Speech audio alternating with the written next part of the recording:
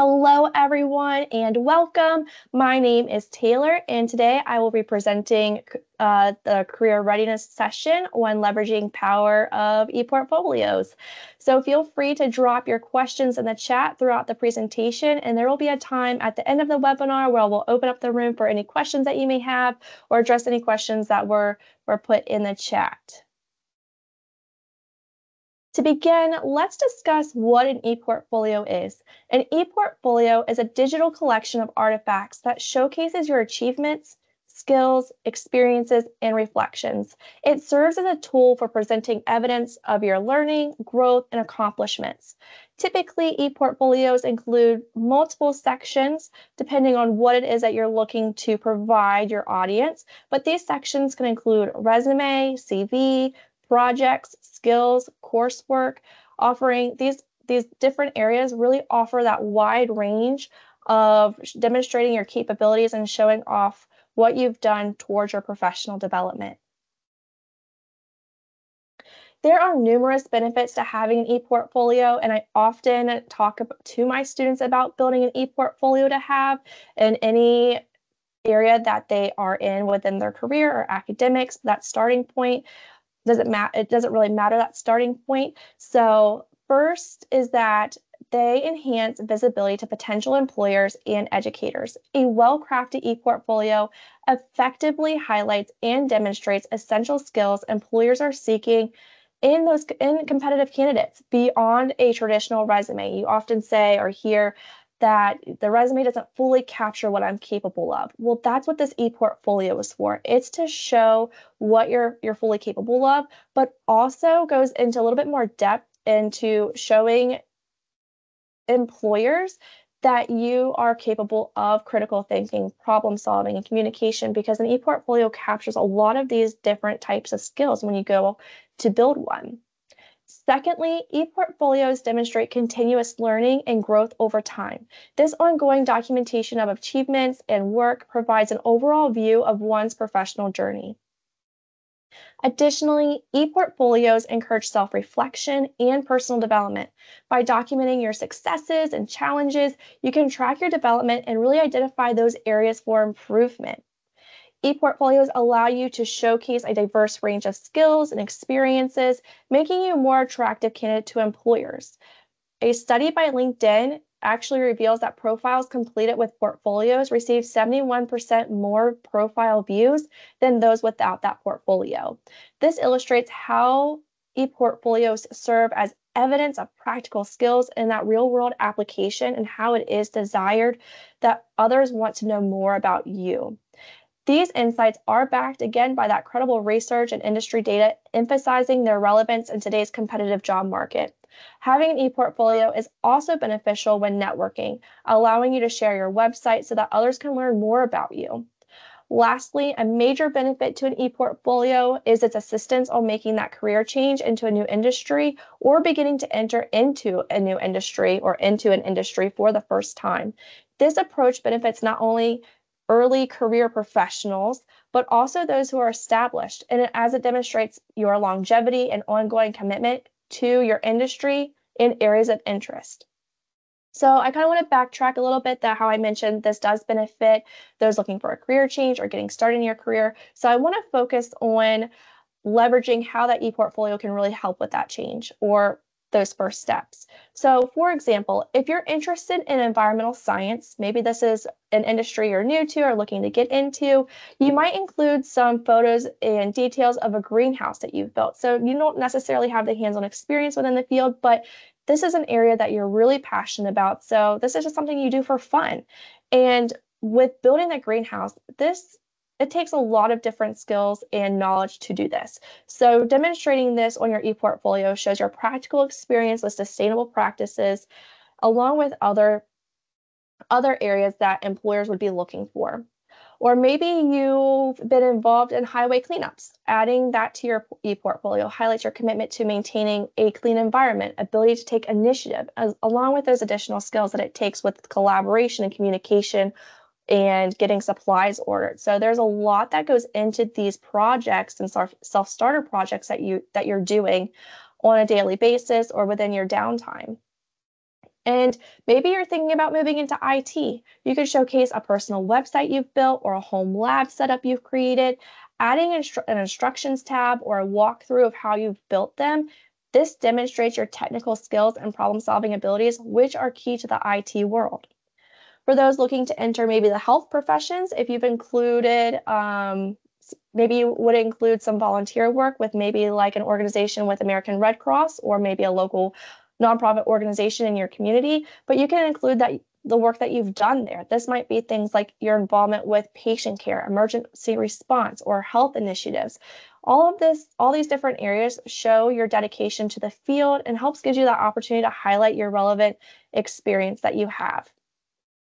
And maybe history is your passion. You could create an e-portfolio of historical sites you've traveled to, providing photos along with short articles you've written to capture your knowledge and experience that showcase the historical significance of each location. This not only shows your enthusiasm for the subject, but also your research skills and ability to present information in a way that's both informative and engaging. So there are ways to taking these different approaches in whatever industry that you're in. These were just a few examples of how you could do it. But whatever industry you're in and you're looking for that change, consider building an e-portfolio. And ultimately, the benefits for ePortfolios, they're very they're a very powerful way to showcase your knowledge, skills, and abilities. Not only do they benefit newer professionals, but also well-established professionals. I strongly encourage you um, especially if you might lack that paid hands-on experience or you're looking to change careers or just continuing to grow within your profession to consider building an e-portfolio including that that e-portfolio link on your resume similar to how you do it with linkedin or maybe you include it on your linkedin profile and you linked your linkedin profile onto that resume so that way employers and professionals can continue to view who you are and what you're doing in that field to help gain more traction and visibility. So I'm going to kind of go over several components of an e-portfolio. And the first main component that I want to touch base on is that home or home or introduction section. And this section is all about introducing yourself and setting the stage for your e-portfolio. So the home and introduction section usually start with a brief bio bio biography to give visitors a quick overview of who you are and your professional background. Mention your current role, your journey so far, and any key achievements or experiences that define you in your career. And of course, you can add some different personal ch- touches to it. So if you want to include your favorite place to travel or your favorite meal, like adding that personal touch can be really beneficial because it's not it's not structured like a resume where it's very black and white this is giving a little bit more insight to your personality and who you are. But again, this this type of introduction might vary on on that targeted audience again, so and how you're looking to present your information. So those are things just to keep in mind when you're creating that home and introduction section. Be sure to include your resume, CV, or both onto that onto your portfolio. To make it easy for viewers to access your detailed resume, provide a PDF or downloadable version because this allows potential employers or your clients to download your resume and review it at their convenience.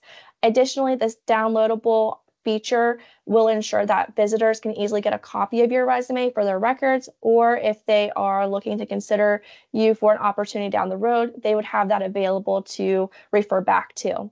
So what I encourage you to do if if this is well, I encourage you to very much include this onto as a main component of the e-portfolio, but to include a clear link or button labeled download my resume or view CV to make it straight more straightforward and streamlined process to access. If you're not comfortable putting that downloadable option, that's absolutely okay. You can still provide the resume on there for the employer or visitors to still view to get to gain a sense of where you've started and where you're at now and kind of where you're headed.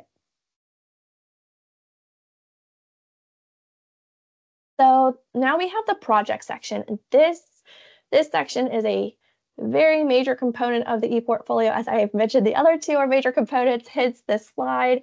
But the project section will look different at, for everyone and depend again it just depends on kind of the approach that you're looking to take but this section is based again based on each individual your project section may include several areas or might just be one These various sections may include an article tab because you have been publishing articles or blogs. You might have volunteer work or specific projects that you've been working on, how I've discussed earlier, like maybe you're traveling or building a greenhouse, doing conservation type work. So you might have different sections all within one project area, or you might have it labeled out differently. It, it's going to be that personal preference and what works best for you and the visual appeal.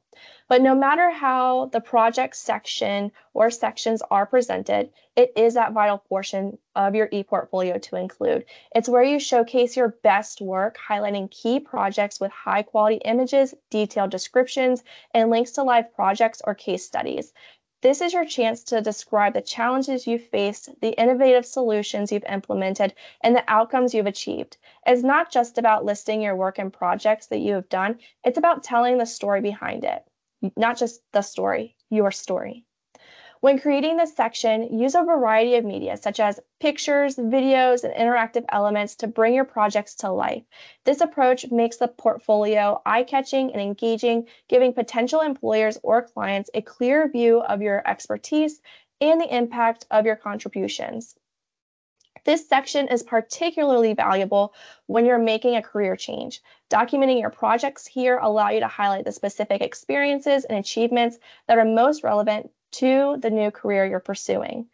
Focus on projects that demonstrate your transferable skills and your relevant experience.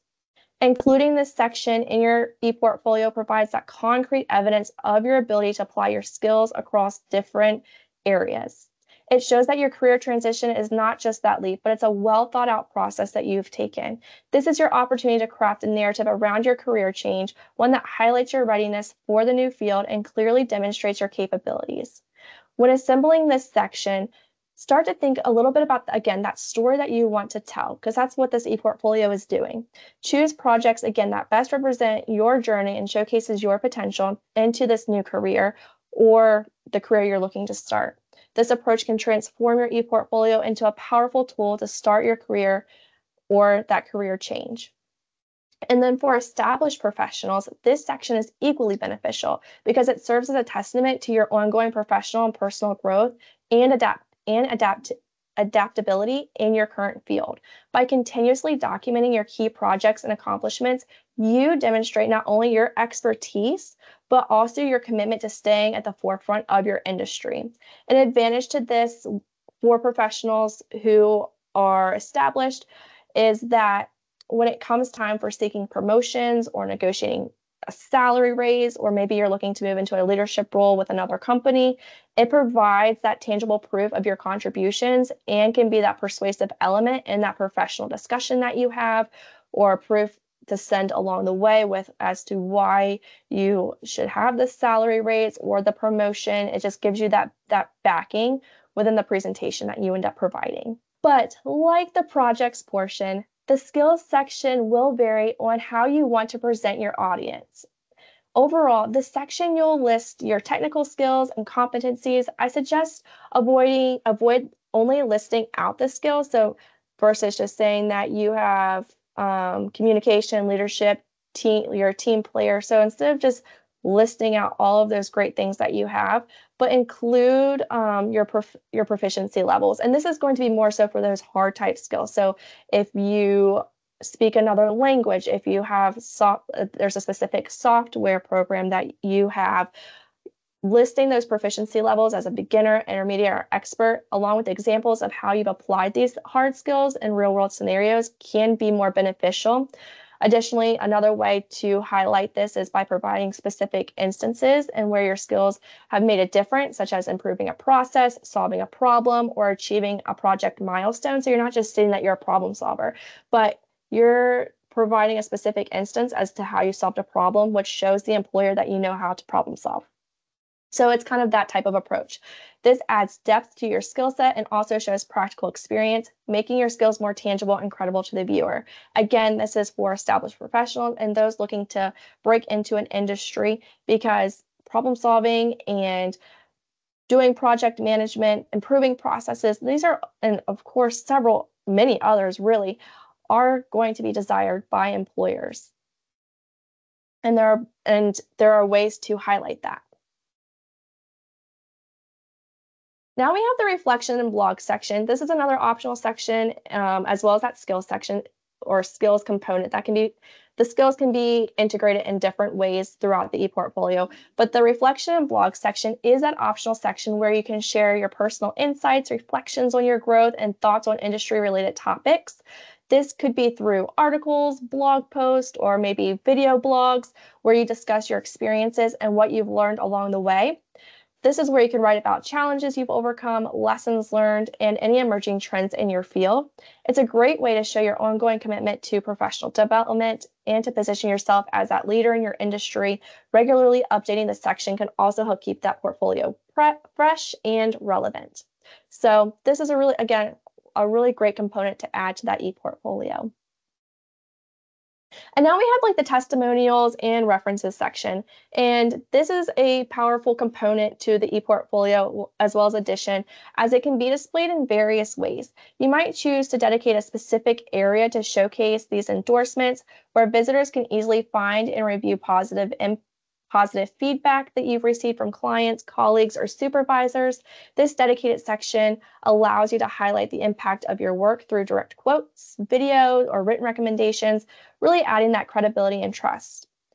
Alternatively to creating a designated section, you can also incorporate testimonials, testimonial, testimonials and references strategically through capturing it within other sections of your portfolio. For instance, you might include a client or supervisor's testimonial alongside a relevant project. By integrating these endorsements throughout your, your ePortfolio, you can reinforce the strengths and contributions within those different stages, adding, again, more value to your ePortfolio and the work that you've accomplished. The contact, se contact section is a very crucial component to add as it this section makes it easy for people to reach you, providing your contact information such as your email or in LinkedIn profile. You can you don't have to go personal with it. You don't have to list your full address or your phone number. I mean, if you want to put that you are in Charles Town, West Virginia, that's acceptable, just as it is for a resume. But if, if you're just looking to make a contact section by inclu- like including um, a form or a booking calendar for consultations, collaborations, it's okay just to list list that email or that LinkedIn profile. It's really going to be up to your personal preference. But this makes it convenient for potential contacts to get in touch with you. Ensuring this section is straightforward and easy to navigate will be crucial. Um, so that way, these con so that way you are pulling in more people to feel comfortable in reaching out to you, but also being able to easily reach out to you. And it just increases having this contact section. It just increases that likelihood that people will reach out because you've made it convenient and easy for them to do so. Additional features of portfolio, an e-portfolio can include our videos, articles, and links. And I've mentioned this kind of throughout these other these other components, but for the ePortfolio, you can embed videos that showcase your presentations, interviews, or project demonstrations. This visual content can engage visitors and provide a view of your capabilities. Ensure that the videos, if you do include them, are high quality and well edited to maintain a professional appearance having links to articles that you've written or contributed to in your field of expertise, or maybe there are some different articles that you really value as a professional and that adds to your professional development, then include those as well as it does give you more credibility for the field, especially if you are continuing to grow or looking to change. Having this type of information on the ePortfolio can be extremely beneficial. And then providing that brief inter- a brief summary or introduction to each article. So that way it gives the reader context and it also highlights the relevance to your work. So how does this article relate to what you're looking to do or why is it important to you? Or a little synopsis of what the article is about if it's something that you've written. Another feature is adding those links, providing links to relevant websites. So maybe you're an IT or you're within IT or cyber or marketing, so you have created different websites out there. You can link those so that um, employers can see them, or the people that you're networking with can can refer to them. Portfolio. So if you have multiple portfolios out there, social media profiles, just makes it easy for visitors to explore more about you and your work across different platforms And if you do include these links or multiple links, ensure that the links are up to date and lead to the professional, well maintained sites that enhance your online presence. And you're also going to want to continue to monitor to make sure the links still work, especially if you're going through like third party articles, not something that you've written, as sometimes those articles do come down or they get moved. So now we're going to explore some of the best tools for creating e-portfolios. These platforms that I'm going to discuss are known to be user-friendly and they do offer free options, making it easy for anyone to really get started with building that e-portfolio. So Wix, WordPress, and Weebly, these three are consistent with offering a free plan with customizable templates. It is a very user friendly platform, and you can add different tabs and sections to showcase various pieces of work, which is really great for organizing those different projects. I have personally used Wix. I had to create an e-portfolio for a class assignment, so I was able to integrate links and videos into it, and I did I did do it all for free through that website, and it was and I will say it was fairly easy to use. So those are things to also look into too. What um, what platform will allow you to do some of the different features you're wanting to add. But those three are are fairly popular when creating an e-portfolio. Another one is Adobe Portfolio. If you have Adobe Creative Cloud already, like at the subscription, then Adobe Portfolio is a part of that. Otherwise, I do believe there is an additional cost to it, but this specific program allows you to create multiple pages and tabs for different pieces of work, making this this um, type is more ideal for creative professionals who need to present some high quality visuals. Google Sites is a completely free and very straightforward to use. This site allows you to add multiple tabs and pages to showcase those different parts of your portfolio, similar to the other ones discussed. But this one is an excellent choice for those looking for an absolutely no cost option. Some of the other Wix and we I'm not 100% sure about Weebly, but I believe WordPress, they do have some paid options. So, to my knowledge, based off research, and I encourage you, of course, to go through and research as things do change, um, Google Sites, I believe, is completely free. But again, it's important to do your due diligence when it comes to um, subscriptions and looking into the cost cost options. Portfolium is another one that's very well known, and this one is designed specifically for academic and professional portfolios. Portfolium helps you to showcase your educational achievements and projects effectively, and this is a really great platform for students and professionals within education to highlight their work in a more structured manner. So these tools offer various features. They're all different but they ultimately help create a professional, organized online e-portfolio tailored to your specific needs.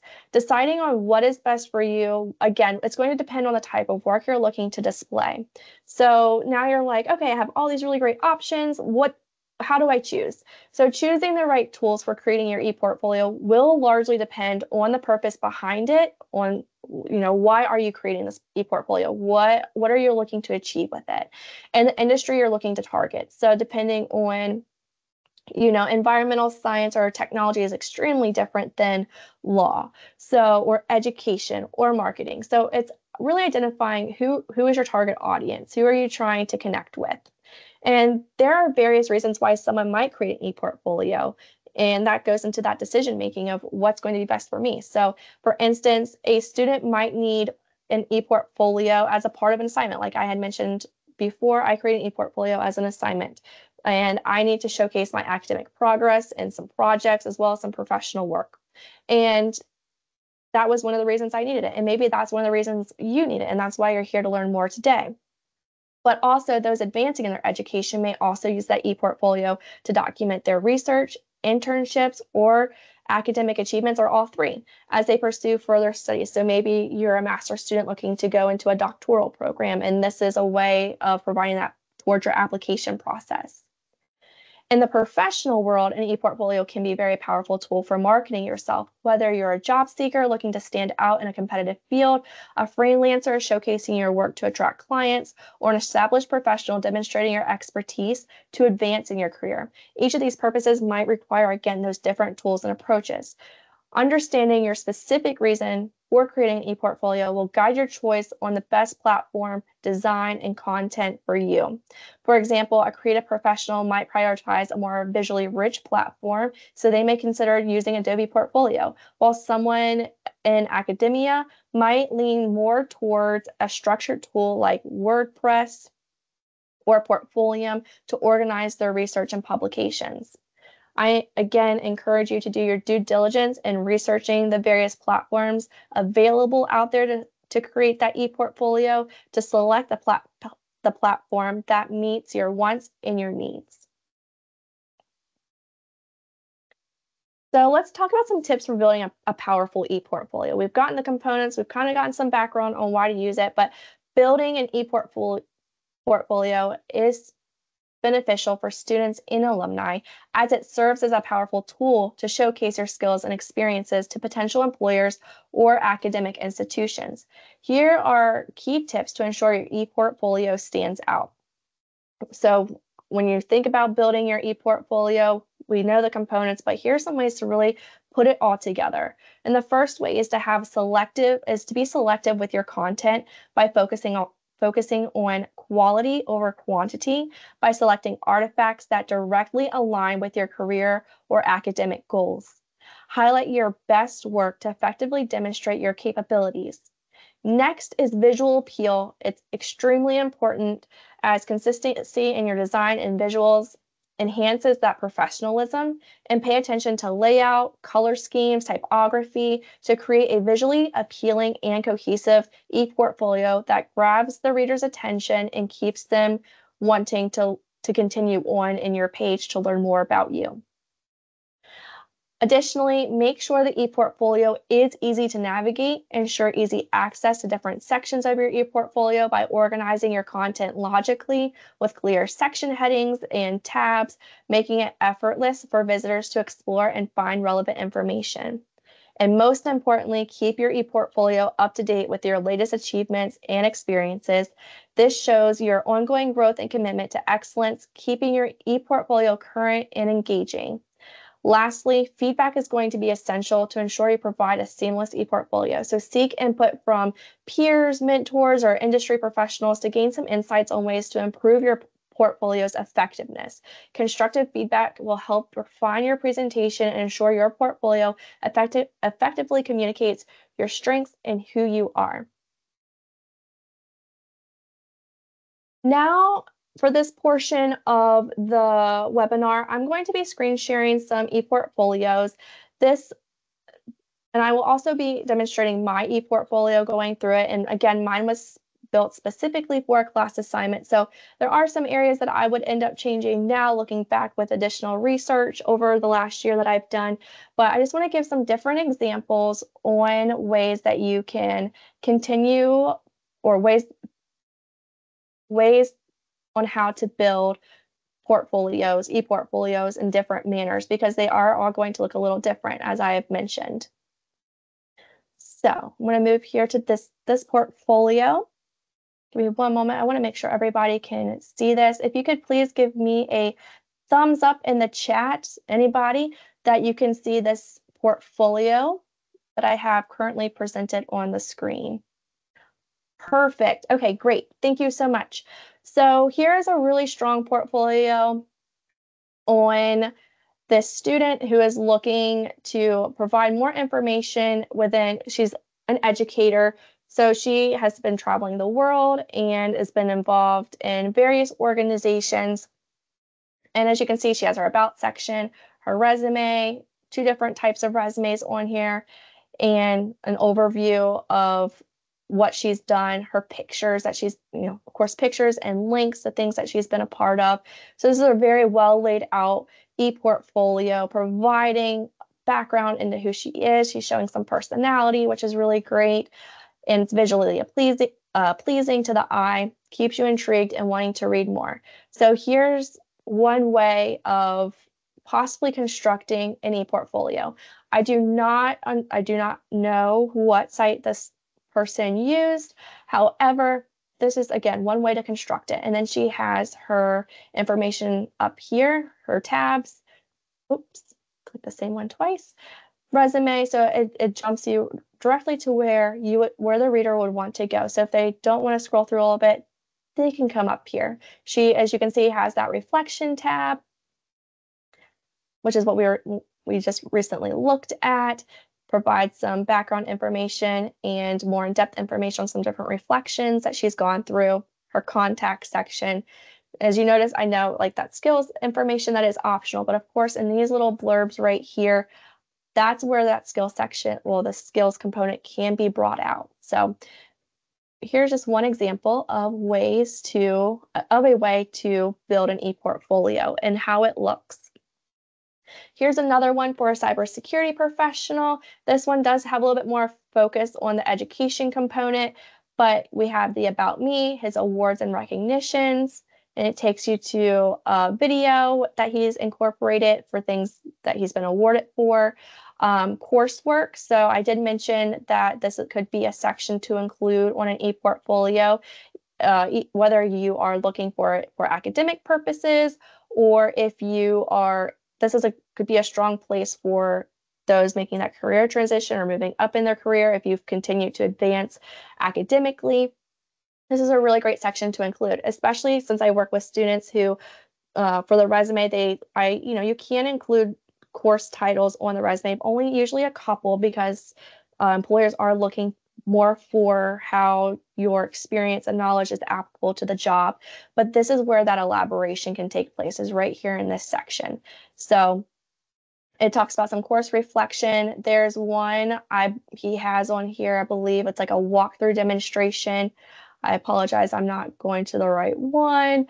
Um, did not write that down. However, you can provide an overview and walkthrough of like screen recording of the work that you've done, that you've gone through, to be able to make more of a statement to demonstrate your skills and, and experience. So as we can see, it his resume up here, downloadable resume that's made easily available, goes into talking about his certifications that he has, and then his contact information.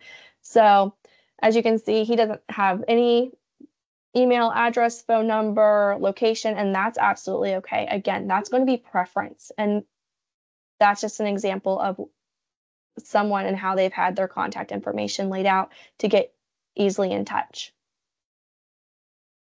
This is a person within public relations and advertising. So as you can see, there's a little bit more um, personality to this. Not that the other ones don't have personality, but it aligns with her profession. The cybersecurity one align with her profession. The educator, it, it just all goes seamlessly with what they're looking and targeting to do. So here again, she has her resume section. She has projects and then more projects. So how you label those different tabs, it's going to be up to you and what you find works best and what you what you feel is easy to navigate and for and for the readers to learn more about you. Here you can see because I talked about when listing projects possibly giving a little bit of an overview. I mentioned I mentioned this more specifically with the articles. However, whatever pictures you post or videos, providing a little synopsis or information or a title can be really helpful. And then she includes some pictures. So adding pictures of work you've done or with you in them, similar to that first one, it just provides a more perfect, uh, personal connection for the readers. And then contact.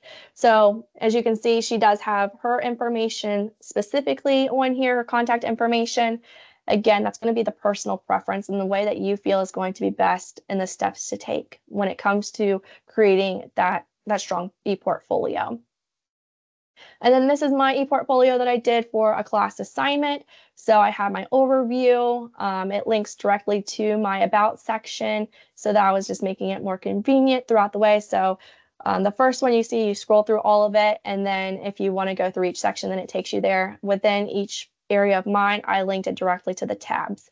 Um, I have a testimonial section with students I've worked with, and I'm very proud to have such great feedback to present on here, but I don't have a, design, a designated testimonial section. So that's how I just incorporated that within there. Um, I have my about section, a little bit of a bio, background on education, and my employment history. So again, it, everybody and how they decide to lay out their e-portfolio is going to depend on what their target audience is, why you're doing it. So, really, the purpose and what you want to present. So, mine was for a class assignment. So, I do heavily focus on my academics and my coursework.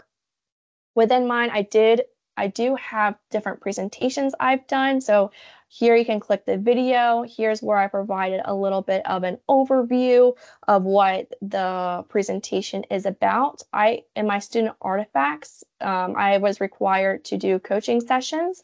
Uh, they were mock sessions and not, it was with family that I ended up doing it with. However, I have those recorded and you can listen to some can listen through how I go about doing my coaching session. So if an employer were to listen or would be interested in my coaching style, then this is a place that they could come and seek how I go or listen to how I do my different approaches with um, areas of coaching. So that's a way that I have mine set up. I've included my resume and contact information as well. So those are some different overviews of various uh, e-portfolios to be able to pro- provide employers and how personalized you make and it's about showing off your personality and your experience and your work. So um, a lot of great i cannot i know i saw it on this one uh, it was a great demonstration of oh here it is um, of, of an assignment of a walkthrough so if you are within cybersecurity or IT, this is a really great way of listing that out or a relevant field where you want to demonstrate what you've done within a course project or assignment. I apologize. I had to click on every link to find that one. Um, but I did want to I did want to give that overview of how that that would look. So I'm going to go over a little bit of a recap of all the information I have just covered. Um, the first thing is start building your e-portfolio today now's the time. This is your sign to begin building it, whether it takes you a week or a couple of months. Starting it now, it's going to be it's going to be so helpful down the road. It's more than just a collection of your work. It's a digital showcase of achievement, skills, and per, per, personal growth and who you are.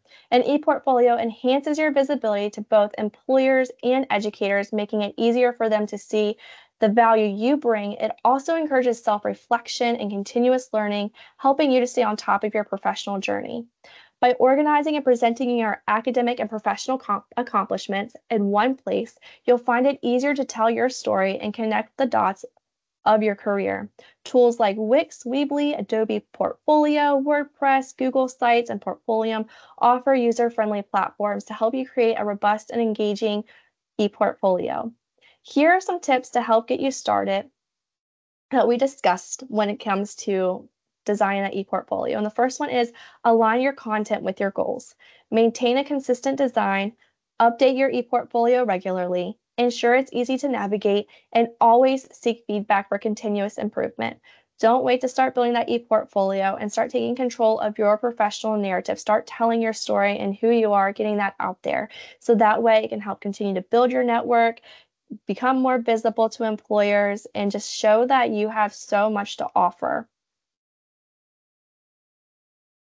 Thank you everyone for joining me today. I am so happy that you are here and in Career Services, we are here and happy to assist you as you journey through reaching your career goals. Please feel free to reach out to Career Services by filling out a, your a form found on the eCampus, or you can reach out via email on the email that's up there on the screen if you're looking for uh, job search, career planning, getting ready to enter a job field, interviewing, career services at is going to be the best email. If you're looking for some resume assistance, resume help at is going to be the best email. And also, please keep an eye on your email for a short survey following today's presentation where you can opt in to learn more about the services Career Services offers and stay updated on our latest offerings. I am going to, here in a moment, drop in the chat a link to Career Link where you can stay current on all of our webinars, check out our university job board, get connected with professionals within various industries that you might be interested in, and utilize the resources that we have. And I also have an article on ePortfolios and how they hire and how they influence hiring decisions. This was published on our AMU APU Edge. So that's a really great article to check out if you're looking to learn a little bit more. And I do want to let you know that this presentation will be added to our YouTube page, which I can also drop that link into the chat as well here in a moment. So if you're looking to create an e-portfolio and want to review some of the information, then feel free to check that out on our career services YouTube page. So now I'm going to open up the floor. I'm going to drop in the chat, but I'm also going to open the floor for any questions that you may have section would you put certifications? So for certifications, I would create a whole section for it, similar to the cybersecurity one where he had the certifications. So because that's a huge that's a huge professional development and core component to a lot of jobs within various industries. So I would have its its whole section, or you can also include it in your about section as well or introduction. I am not sure if you can add an ePortfolio onto your USA Jobs profile. You may be able to pro provide your link into um, the header section on the resume with USA Jobs. You don't want to hyperlink it because of their applicant tracking system, but it's not necessarily required. It's I USA Jobs is very, no, I won't say finicky. USA Jobs is very particular in the information on those resumes. So if you go into USA Jobs and create up your create your account, um, if there's an area to provide a URL for a personal page, then that's what I would do or recommend doing.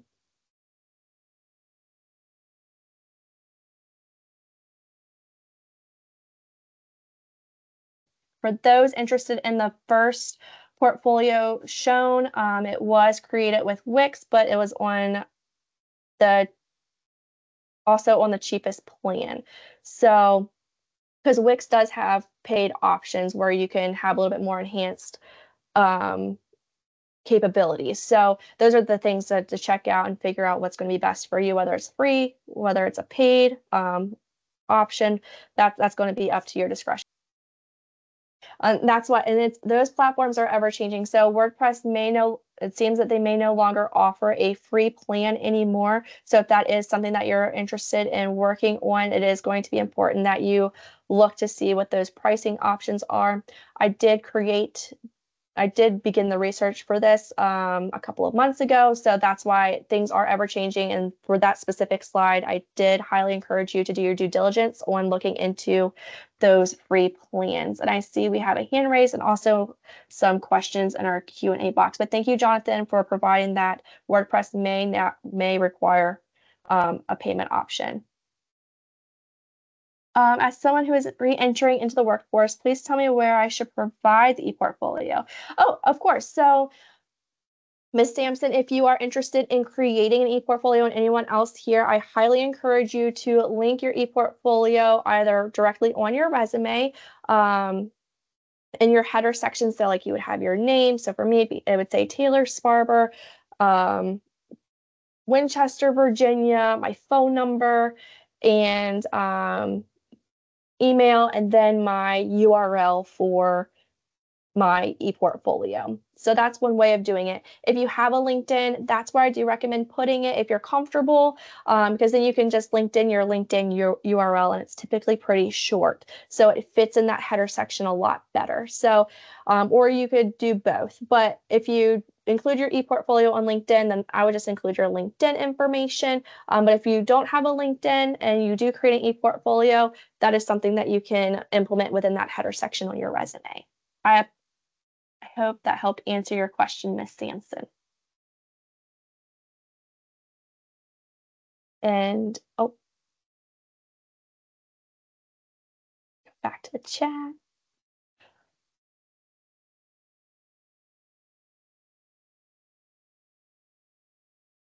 Yes, for when I created my Wix last year, um, there the AI features were in that, and it was complete at that point. It was free, and it was it was con- it was helpful when creating some different content. Um, so social media, yes, of course, you can include that in your social media if that's something that you feel comfortable in. Facebook, Instagram, Twitter. Um, usually those areas have an about section, and even same for LinkedIn. Usually you can do like an about an well, in your LinkedIn, you have an about section where you can provide a full link. I can actually, oh, I have to leave. I was going to say I could show you an example, but I forgot the name of the person I was recently looking into, so I cannot do that. However, um, for other social media pages, I want to say like Insta. I don't know if Instagram would be the place to put something like this, but you can usually put it, add it into your bio. So, um, and I believe Facebook has a place to put your portfolio link as well. I do not use Twitter, so I cannot speak to that one, but I encourage you to do some research on ways to incorporate that into the social media portion. Um, are some of the better portfolio platforms better than others as far as allowing for data export. I am not sure when it comes to that. I'm sure there are, um, but I encourage you to research to see which ones may do better integration for data export. I apologize, I do not have the answer to that question.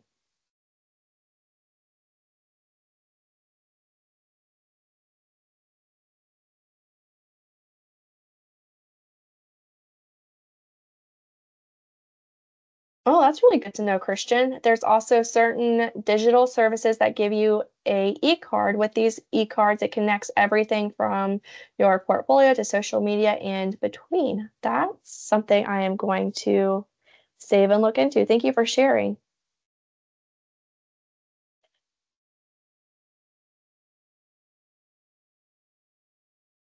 Thank you guys for sharing that.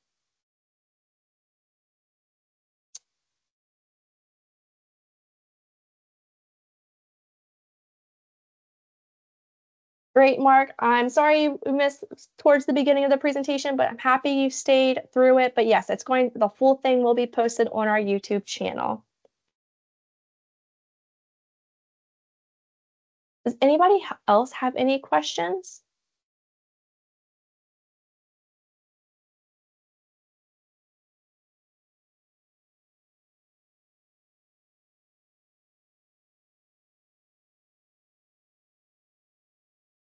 All right, everyone. Again, I hope you have a great rest of your day. Thank you for joining and feel free to reach out to Career Services if you would like any career coaching assistance. We are here to help and support you along the way.